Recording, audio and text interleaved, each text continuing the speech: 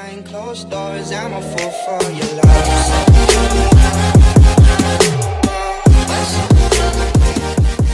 Yo, what's going on guys? It's Shine here bringing you another video. I hope you all are having a great day today. So I'm back with another Black Ops 2 video. I know you guys are loving the Black Ops 2 content and you also loved the last story I did. So today I'm going to be talking about when I started sniping and how I started sniping. So basically just how I got into it and how I'm still doing it today because it's crazy to think ever since I started sniping I never thought of going back to playing normally. I've still been sniping, which is pretty crazy. Meanwhile, I'm just playing some Black Ops 2 floaters as I still haven't got Xbox Live for the 360. So it's either Black Ops 3 or floaters and you know sometimes I'll play both but at the moment I'm just doing some floaters trying to hit some decent ones. So firstly, I used to play COD normally on MW2. If you haven't watched my last story of how I started Call of... Oh, fricker.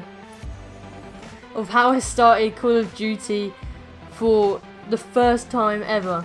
I got MW2 for Christmas or a birthday, I'm not I'm not that sure. I was just playing completely normally, like I didn't even realise sniping or trick shotting was a thing. So I was quite oblivious to the fact that there was people out there who sniped all the time and trick shotted.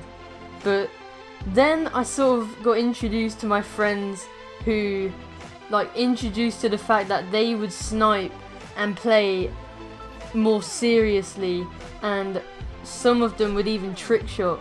I didn't have a clue what that was but I, I found out that they trick shotted so they, all my friends, they all started a clan um, called Atex. Some of you may or may not know this, but I used to be called Atex Tricks, which is a shocking name. But that is the clan that sort of got me into sniping because one of the members, Atex Mirrors, um, he was like one of the only people to snipe along with someone called Blimo and Zerka. They were all snipers slash trick shotters and that's sort of how I got introduced to the whole thing. Originally when I wasn't in the Atex clan, I really wanted to start sniping because everyone else was basically, it was just a sort of follow the crowd thing. I know you shouldn't always follow the crowd, but I saw them sniping and trick shot and I actually thought it was so cool even though I was shocking at trick shot and I could only do like I'll show you I could do this that's that was my best trick shot back in the day but Oh, if that hit. but I got kind of inspired by them trick shotting and snipe sniping, and I wanted to get into it more and get into their clan actually. Even though they were my friends, I know it's kind of weird, but eventually they told me that I had to get like a certain amount of snipes to get into the clan. So I actually I got in, and that's basically when I started sniping. It was just the whole fact that they gave me this challenge to get in a clan even though we were all a group of like we were really good friends and they sort of put me up to the challenge of getting as many snipes as I can in a certain time and eventually I just started loving sniping more and that's why I'm still doing it today. I just find it more fun than playing with a normal regular gun. I'm not sure, I don't know, it's totally opinionated but I find trick shooting more fun than sniping, but I find sniping more fun than red gunning. But make sure to leave your opinion below. So, anyway, I was just getting into the Atex clan, and then I started getting more and more introduced to trick shotting. So first it was sniping normally, like hard scopes and everything, and next it was trick shotting I I really couldn't trick shot for my life as I showed you a minute ago. That was my best trick shot I could do at the time. But oh my god, what has happened? Never mind, we'll carry on playing. Imagine hitting a floater like this.